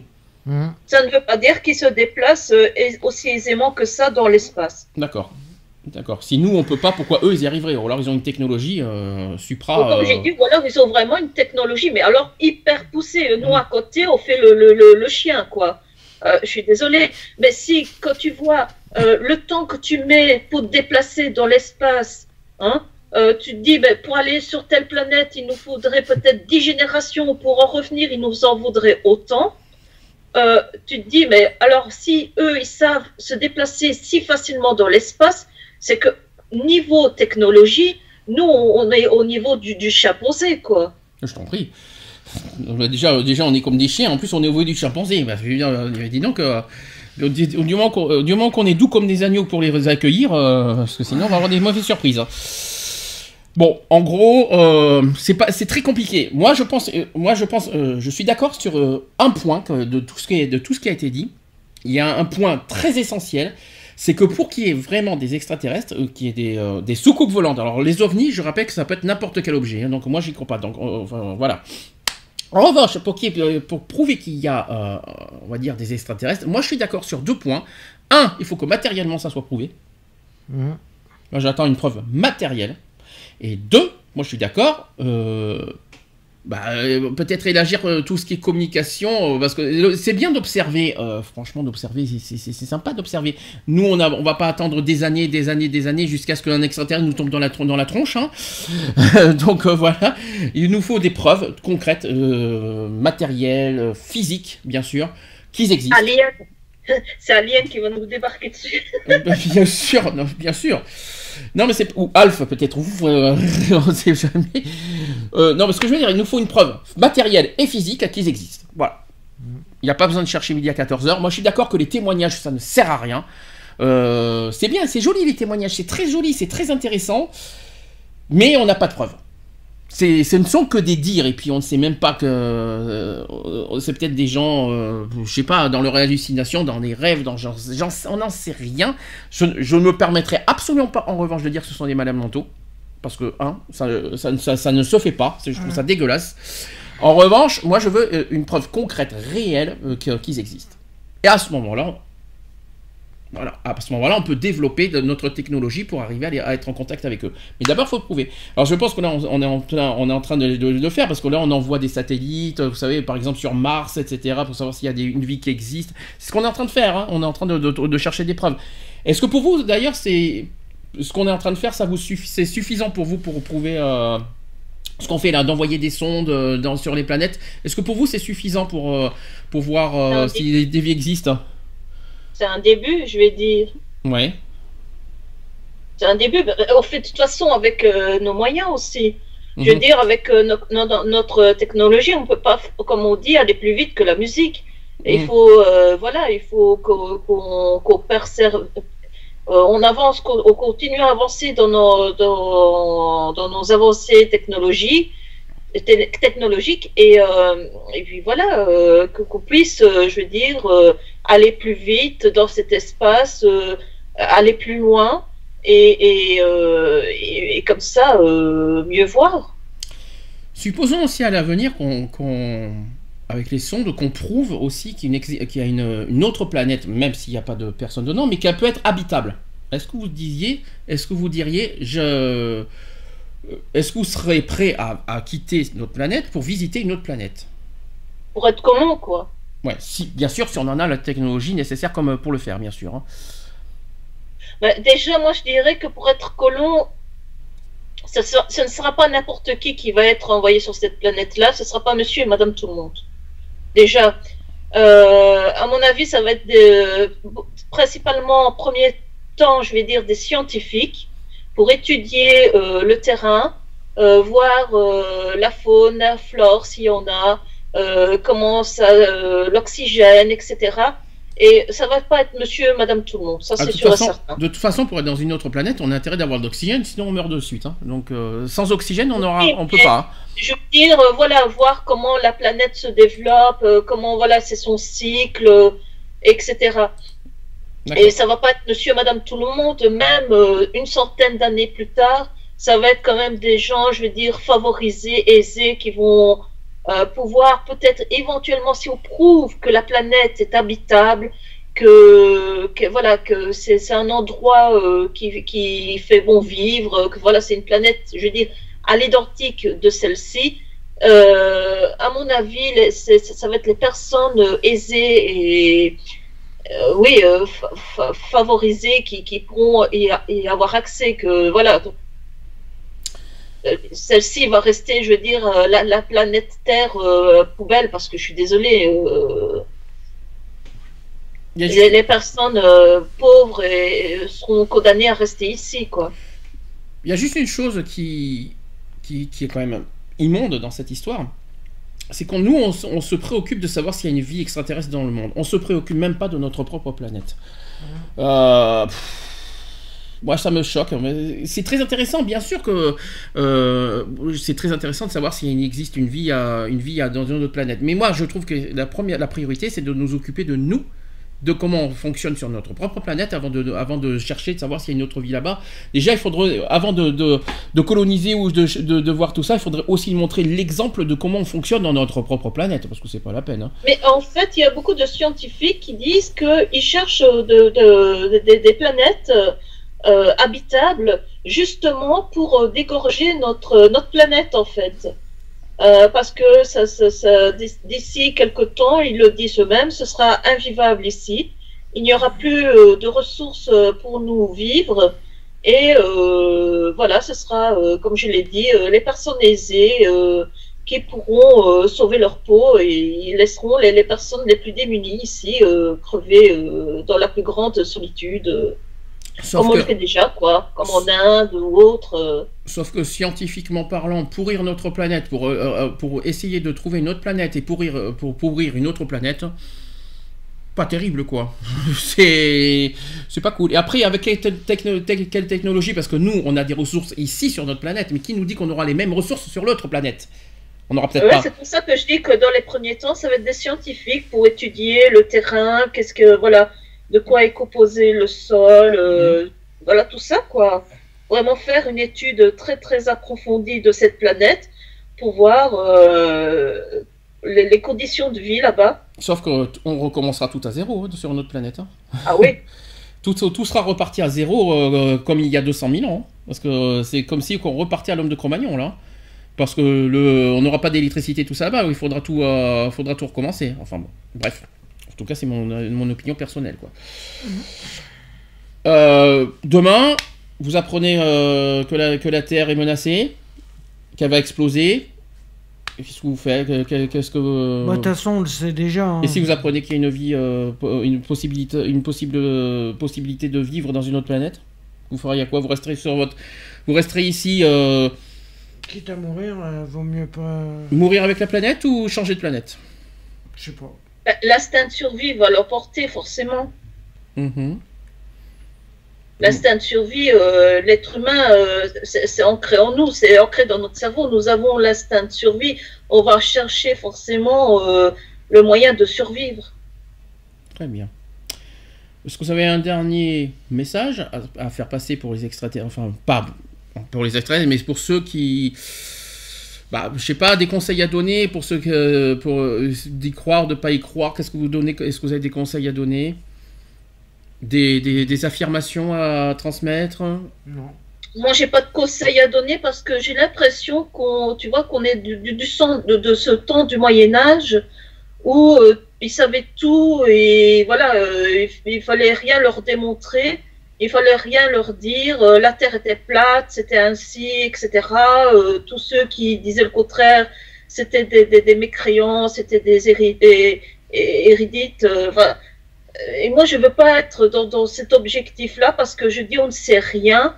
Il faut, faut, faut attendre pour voir les avancées, comment ça, ça, ça avance, comment ça, ça va évoluer. Et moi, je, je, je dis, tant qu'on ne sait rien, il- autant ne, ne pas... euh, voilà. En gros, tu es en train de dire quoi? Il faut pas se dire que, que les extraterrestres existent tant que tant qu'il n'y a rien qui est prouvé. C'est ça qu'il faut se dire. C'est ça que tu veux dire. C'est n'y croyez pas tant que, tant que rien n'est prouvé. Il faut pas affirmer ni euh, Supposé. dire le, le contraire. Faut, faut, faut, faut, comme tu dis, il faut des preuves tangibles.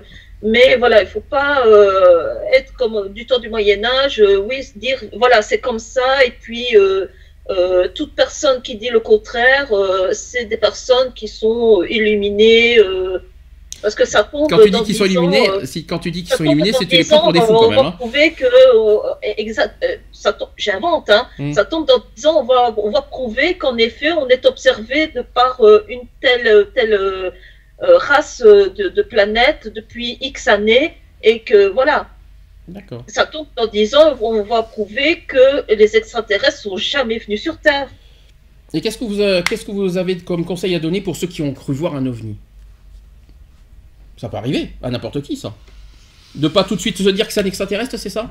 Ouais, voilà, Voilà. c'est de, de dire de faire, euh, d'essayer de, de trouver euh, une, euh, une pseudo, euh, on va dire une. OVNI ne veut pas dire forcément extraterrestre. Ouais, non mais on- simplement. une, se- une pseudo réponse à son, à ce qu'il a vu.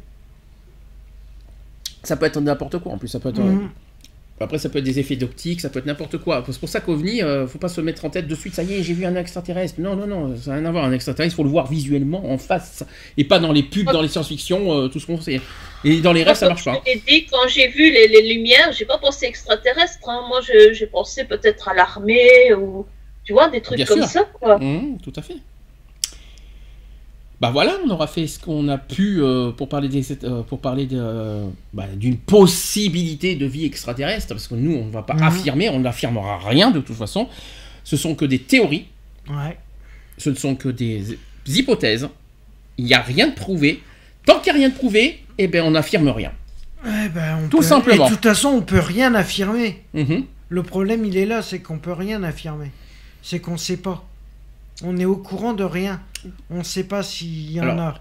C'est vrai que c'est vrai que comme on a dit au début de l'émission, il y a cette histoire de zone 51. J'aimerais bien savoir, j'aimerais bien savoir ce qu'ils cachent.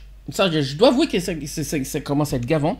Je trouve que les, les Américains cachent trop de choses à ce- sur le Et sujet de la la zone zone 51. 51, c'est surtout des, des, des, des tests. Des essais des- nucléaires. des- Il faut des prototypes en fait là-dedans. Mhm. C'est des laboratoires, c'est des trucs comme ça. Mais vous êtes- ben- Mais vous êtes d'accord qu'ils cachent autant de choses dans cette zone? Parce que franchement, je trouve ça louche quoi. Mais il n'y a pas Moi, dans pas la zone cachent, 51 où ils cachent. Hein. Tu disais Eve? Eve, tu Je ne dis- pas qu'ils cachent des extraterrestres, je dis surtout qu'il faut beaucoup de prototypes pour l'armée. C'est là, à mon avis, qu'ils font tout, tout- toutes les recherches euh, pour euh, les avancées technologiques, que ce soit aussi bien dans l'espace que sur Terre. Euh, pour moi, c'est là, c'est- un grand, un immense laboratoire où voilà, ils essaient de, comme je te dis, de, faire des prototypes ou des, nouveaux euh, appareils. euh, Bah, ce que je veux dire par là, c'est que si jamais, je parle des dirigeants politiques, si les dirigeants, politiques savent un minimum de choses, on a le droit de le savoir. S'ils sont quelque chose, s'ils ont quelque chose qu'ils ne gardent pas pour eux secrètement parlant, euh, nous on a le droit de savoir. Je vois pas pourquoi eux ils sont, ils doivent garder secret, notamment en Amérique à la zone 51, mais ça peut être dans n'importe quel pays, hein, euh, ce genre de secret. Euh, pourquoi garder secret? Il y a rien, y a- ça sert à rien de garder secret. Après on, va nous rendre encore plus fou qu'autre chose en, nous faisant croire des choses. Ben, qu'on nous dise clairement s'il y a un secret qui, y a un secret mais qui nous le dévoile. Et pourquoi le cacher? Ça, c'est- c'est ridicule. Enfin bon, ce n'est que mon avis personnel. On a le droit de savoir, c'est normal. Moi, si on, si- s'il y a quelque chose, euh, l'affaire Roswell d'ailleurs n'est pas résolue, hein, si je me trompe pas. hein, euh, donc, euh, on est obligé d'en revenir là-dessus aussi. Il n'y a rien qui est résolu. L'affaire Roswell n'est pas finie. hein. Il n'y a rien qui prouve son existence. Il y a rien, enfin, il y a rien qui, pas qui prouve, mais qui explique son existence. Donc, euh, Est-ce qu'elle a vraiment existé ah oui, il existe parce que son corps, il est, il est- il est- il est justement dans la zone 51. Mais euh, enfin, maintenant, aujourd'hui, je crois qu'il doit être un peu, euh, un petit peu euh, en miettes, je crois. Mhm. Mais euh, voilà, cette histoire de. Je comprends pas, de, de garder secret des choses dans ces, dans, dans ces sujets. S'il y a des choses qui existent, et bien qu'on nous dise clairement, fortement, et, euh, et voilà, au lieu de nous faire. bon, oui, gna, gna, gna, gna, gna, gna, bon, voilà. Mais normalement, sauf connerie de ma part, aux États-Unis, tous euh, les 60 ans, et, euh, en fait, ils attendent 60 ans pour, en- pour pouvoir euh, avoir accès à certains dossiers classés top secret. Alors, 60 ans, tu es d'accord? Roswell date de quand? Ça fait plus de 60 ans. Ça fait plus de 60 ans. Roswell, c'est quar- 1947. Ça fait donc 70 ans cette année. Donc, normalement, on peut avoir, avoir accès au dossier. Si c'est si bien 60 ans, parce que on sait pas, je sais pas si tu combien de temps exactement, mais on, effectivement l'affaire Roswell, ça va faire ça fait 70 ans cette année. Quand Donc, on peut avoir, avoir, euh, avoir accès au dossier. En principe, oui, je pense. Si, si c'est possible, oui. Il faudrait se renseigner. Il faudrait qu'on faudrait qu'on se, qu'on se renseigne sur l'affaire Roswell, où ça en est, parce que voilà. quoi.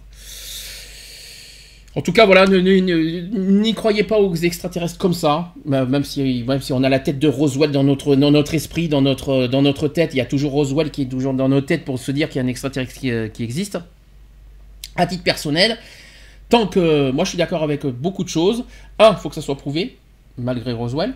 Deux, euh, que, bah, que, euh, oui, euh, on, veut on veut physiquement euh, un vrai extraterrestre devant nous. Là. Et puis, puis a- on a des technologies avancées aujourd'hui, on, on progresse de plus en plus. Dans une dizaine d'années, on va avoir plein de choses. On, regarde, on, est, on est en Wi-Fi, Bluetooth ou machin, on va avoir des communications. euh, On est en fibre alors. Bientôt, bientôt, bientôt, si ça continue, on va se, on va se communiquer euh, en- par télépathie, vous allez voir, ça va pas tarder, ça aussi. Donc, euh, pourquoi pas Bon. Mhm. Par contre, quand on y... c'est pas la peine, par contre, de nous faire... ceux qui y croient aux extraterrestres, ne, ne- ne- on va dire... ne... Ça aussi, c'est quelque chose qui me dérange beaucoup, c'est ceux qui croient fortement aux extraterrestres. Ça me fait penser au gars d'hier. Qui, a, vu Jésus et Dieu dans, toutes ses formes.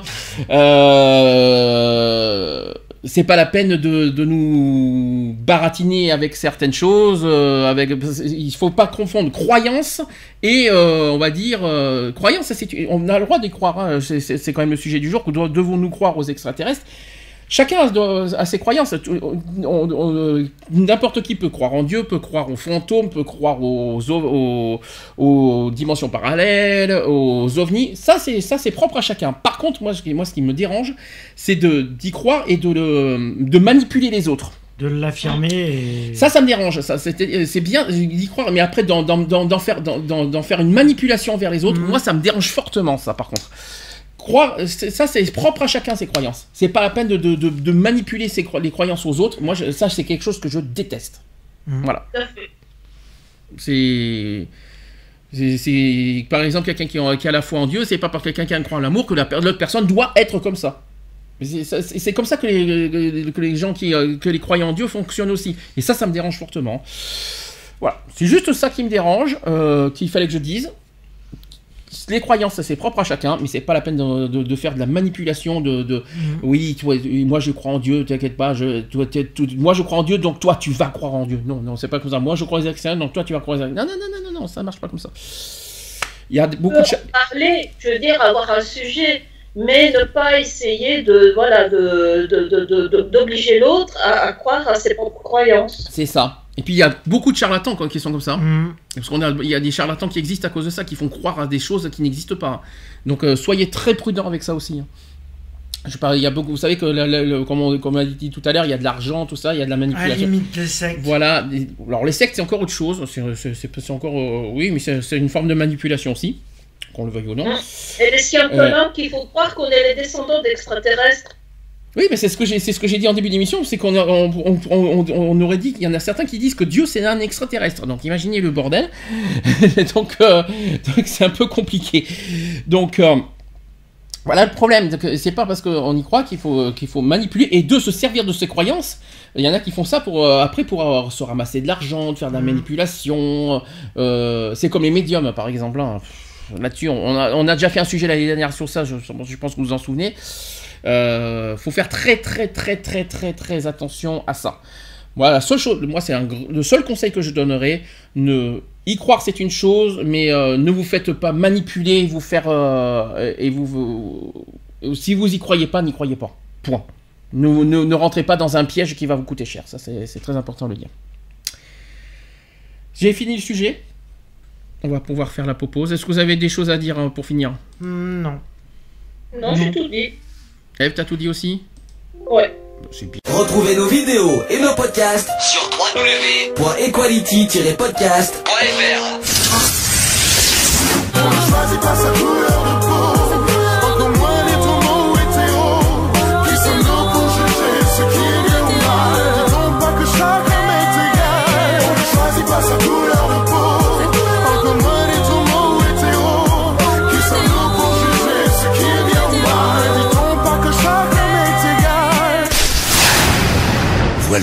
C'est fini. À très bientôt.